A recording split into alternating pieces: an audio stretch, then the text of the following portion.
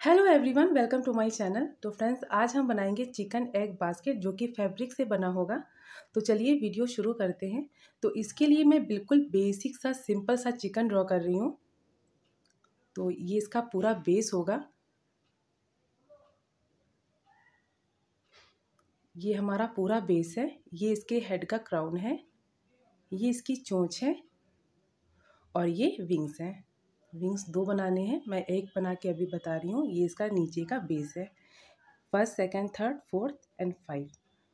तो ये पाँच पार्ट हो गए हैं, इसके दो पीसेस बनाने होंगे। इसके दो पीसेस बनाने, इसका एक पीस बनाना है, इसका एक पीस बनाना है और इसका एक पीस बनाना है।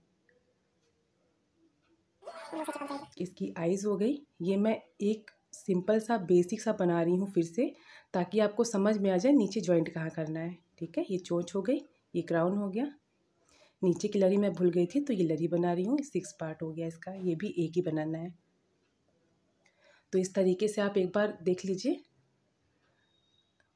तो ये मैंने न्यूज़पेपर पे कट कर लिया है सारे पीसेस को। तो आप स्क्रीनशॉट ले लेना, या आप न्यूज़पेपर पे कट करके आप देख लेना कि कितना बड़ा छोटा बनाना है। आप अपने रिक्वायरमेंट के हिसाब से कट कर लीजिएगा पीसेस को। चलिए फैब्रिक पे आते हैं। तो क्विल्ट पीसेस सिंपली क्विल्ट किया है मैंने। ये मेन फैब्रिक है, बीच में फॉर्म है और ये लाइनिंग है। तो करना क्या है? जहाँ पे मैंने थोड़ा ड्रॉ किया है, इस पर पहले स्टिचिंग लगानी है। इसके बाद हम कपड़े को कट करेंगे। पहले कपड़े को कट नहीं करना है।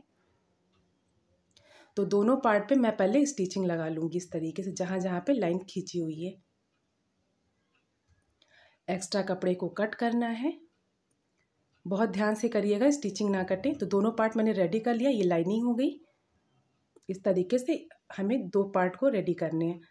तो जो हमारा मेन कपड़ा है ना, उसको एक साइड करना है और उस तरह से एक साइड से स्टिचिंग लगानी है और फिर पूरा पलट लेना है। तो देखिए, अब हमारे दोनों जो है येलो वाला पार्ट दोनों साइड हो गया है।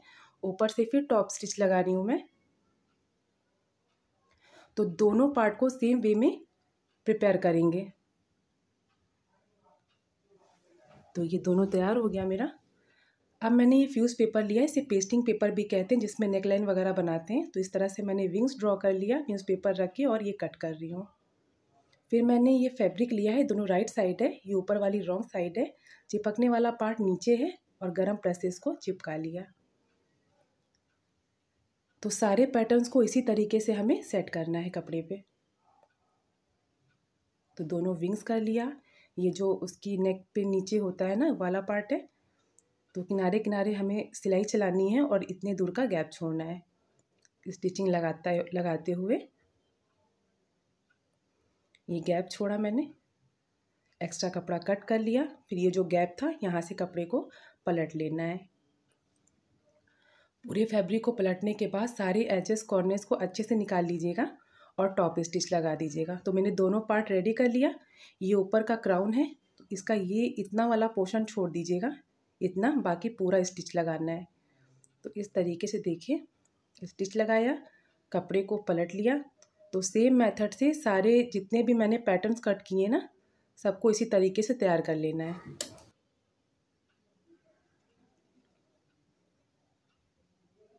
ये सारे पैटर्न्स रेडी हो गए। तो इस तरीके से दो दो इंच की मुझे लाइन खींचनी है रफली खींचिएगा। दो इंच के गैप में दो इंच की लाइन खींचनी है। तो दोनों विंग्स पे यही पैटर्न रेडी करना है स्टिचिंग लगा लेनी है। अब मैं इस पर चोच बनाऊँगी।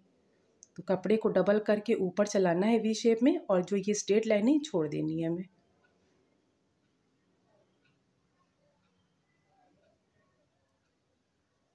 विंग्स को इस पर सेट करना है, इसके बॉडी पे।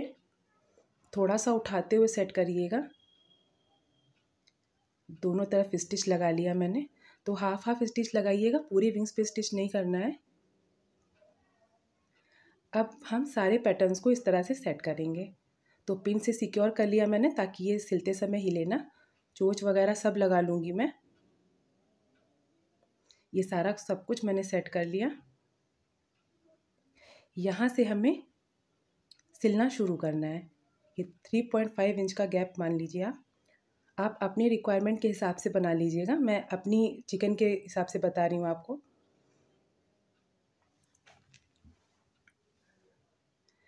तो ये वाला पार्ट पूरा सिल लेना है हमें।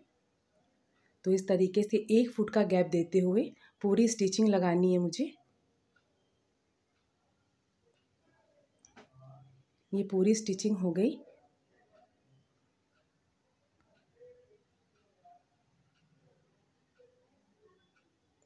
ये देखिए, ये बीच का गैप है, ये वाला। अब क्या करना है? बेस बनाना है। बेस के लिए भी मैंने कपड़े को क्विल्ट किया है, वो भी रफली। मेज़रमेंट बताती हूँ, बहुत वैसे तो बड़ा ही है ये। तो ten into ten point five inch का मैंने लिया है नीचे का बेस। इस तरीके से फिक्स कर लूँगी पिन से, ताकि स्टिचिंग करते समय ये हिले ना।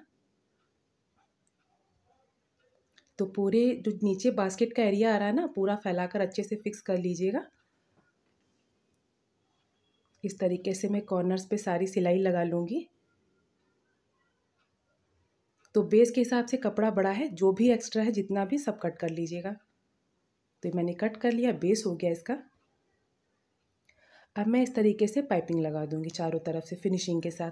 तो जो भी धागे रेशे हैं, सब अंदर चले जाएँगे और फिनिशिंग से हमारा बेस रेडी हो जाएगा।